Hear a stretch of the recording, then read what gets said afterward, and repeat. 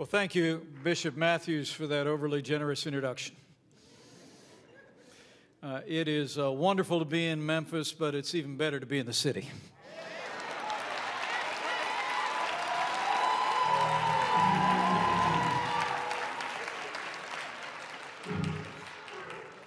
What a special place. I'm very humbled uh, to be with all of you today. Thank you for the warm welcome, the opportunity to share a few words today on a very special day. Out of the mountain of despair, a stone of hope. Those words were first uttered during the March on Washington in 1963. And now they grace a memorial that stands on the edge of the tidal basin in our nation's capital. To this day, I believe those words, more than any other, capture the spirit of the man for whom that memorial was created, the times in which he lived, and the courage and idealism and faith of a truly great American, Dr. Martin Luther King Jr.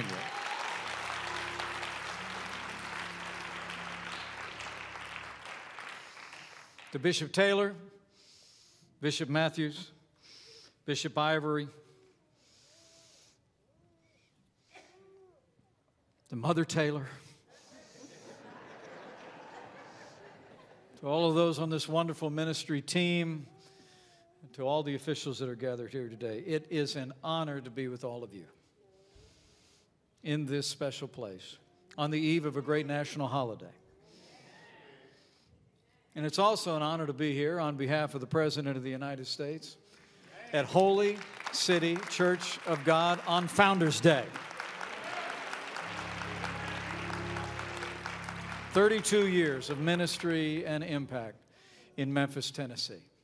You know, it's remarkable to think that Holy City has grown from just three small families gathered in the living room. Bishop Taylor, the home that he'd built with his own two hands and now a congregation of more than 800 people that fill this beautiful sanctuary. Bishop Taylor and I were talking, this church has already planted numerous other churches across the area. But as I'm sure Bishop Taylor will remind us, though your members built the structure, unless the Lord builds the house, the builders labor in vain. So let's give thanks to God for what He's done through Bishop Taylor, through this great ministry in Memphis and all across Tennessee since 1988.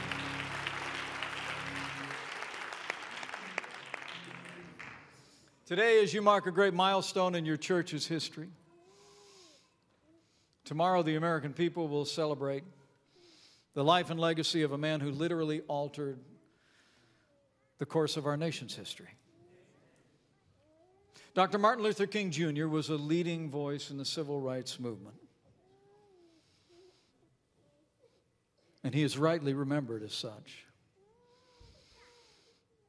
But we commemorate his life and legacy because he wasn't simply the leader of a movement, he was a great American leader in the tradition of every great leader in the history of this country. He challenged our nation to live up to our highest ideals, the ideals of our founding. Our founders wrote down that they believed we were endowed by our Creator with certain inalienable rights, that all men and women were created equal. He called us to those ideals as a nation. I just visited the Civil Rights Museum at the Lorraine Motel, was deeply moved to walk through. And they pointed out to me that in the photographs replicated on the wall, they wanted to make sure that the American flag was in color to know that this movement was about holding up the ideals and values of every American.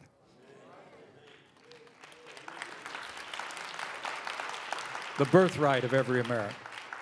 It's why we name streets and bridges and schools in this nation in his honor. And that memorial that Kate just talked about bears his name in our nation's capital.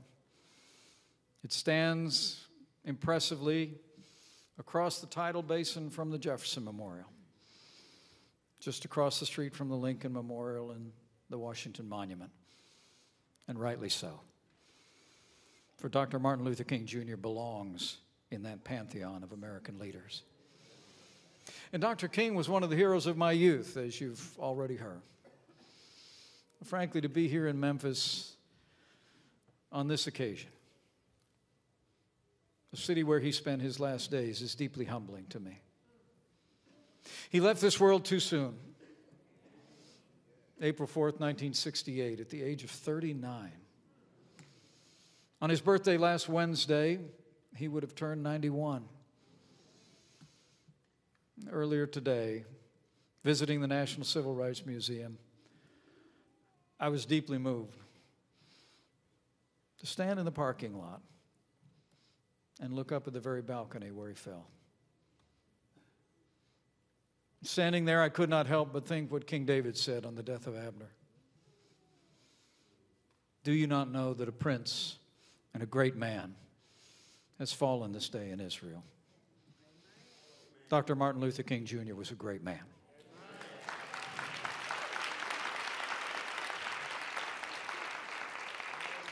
But we're not here today to speak about that terrible day, but about a life of consequence and a life well lived. The beginning of this service, I, I heard it reflected that if you owe debts, pay debts. If honor, then honor. If respect, then respect. And I'm here to pay a debt of honor and respect to a man who, from walking the dirt roads of the Deep South to speaking to hundreds of thousands on the steps of the Lincoln Memorial, touched the hearts of the American people, and led the civil rights movement to triumph over Jim Crow. Tomorrow, all across America, millions of our citizens will celebrate his life and his legacy. And we honor him by remembering his work, his courage, his sacrifice. And we honor him by teaching our children and our children's children what Dr. King and all the heroes of the civil rights movement accomplished for this nation. As Kate mentioned, it was 10 years ago. I had the great privilege of traveling to Selma, Alabama, and Montgomery for the annual pilgrimage led by Congressman John Lewis. We literally walked across the Edmund Pettus Bridge on the anniversary of Bloody Sunday. We heard the stories from those who had been there along with John. And it was an extraordinary experience for me and for my wife, for our three children. We honor, we honor those who served and honor Dr. King by teaching future generations what they did for us. We also honor him by performing acts of service. As Dr. King often said, life's most persistent and urgent question is what are you doing for others? Tomorrow, all across the nation, we will mark the 25th anniversary of the MLK Day of Service. Millions of Americans will, as the saying goes, make it a day on, not a day off, by giving back to their communities and coming alongside families in need. And I know Holy City will be there every step of the way. And finally, we honor him by continuing the work he so nobly advanced of forming a more perfect union with liberty and justice for all. As Dr. King said in his letter from the Birmingham jail, and I quote, one day the South will know that when these disinherited children of God sat down at lunch counters, they were in reality standing up for what's best in the American dream and for the most sacred values of our Judeo Christian heritage. As I stand before you today, I want to assure you that under this administration, we've made every effort to open pathways to the American dream for every American, and we have stood strong for the values that we hold dear. Under the leadership of President Donald Trump, we've created more than 8,700 opportunity zones, including many here in Tennessee, bringing new investment and jobs to underserved communities across the nation. And I'm proud to say that today, African American unemployment is at the lowest level ever recorded.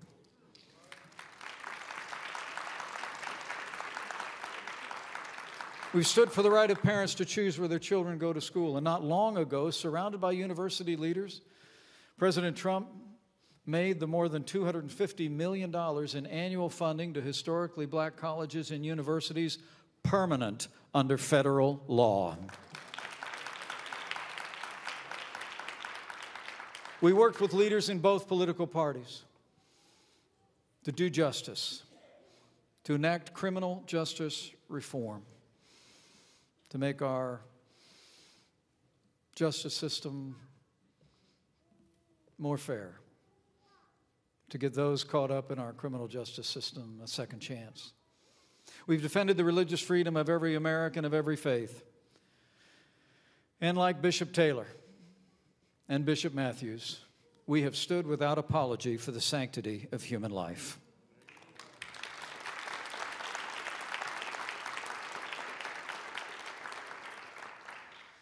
We've made great progress as a nation, but there's much work to be done. And I can promise you, this president and this administration will always stand for the values we share and the right of every American to live the American dream, regardless of race or creed or color. So help us, God. Finally, history records Dr. King was a civil rights leader. As I said before, he was a truly great American leader. But for my part, I think it's important to remember that Dr. Martin Luther King Jr. was also a Christian leader. Throughout my life, what has most inspired me about his example is that he was first and foremost a man of faith, a minister of the gospel of Jesus Christ, a workman approved, rightly able to handle the word of truth. In Luke chapter 6, our Lord says, the good man brings good things out of the good treasure in his heart. For out of the overflow of his heart, a man speaks. And one cannot hear or read the words of this great American without hearing the echoes of the gospel and biblical truth. He said, We would not be satisfied until justice rolls down like waters and righteousness like a mighty stream. He had a dream that one day every valley would be exalted, every hill and mountain would be made low. And as he said in his last speech, right here in Memphis at the headquarters of the Church of God in Christ, the day before he fell, that like Moses on Mount Nebo, he had been to the mountaintop, he had seen the promised land. Those words that echoed into history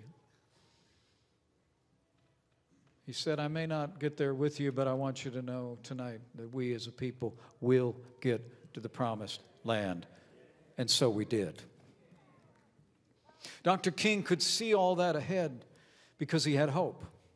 And that hope came from his faith in God. As he said during his famous march in 1963, quote, this is the faith that I go back to the South with.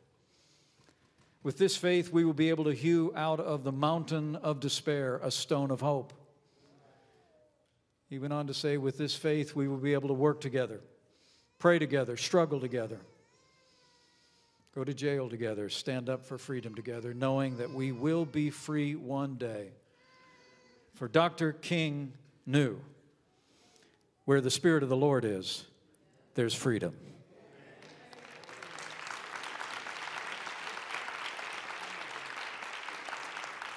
So, in these divided times, let's remember the Reverend Dr. Martin Luther King Jr.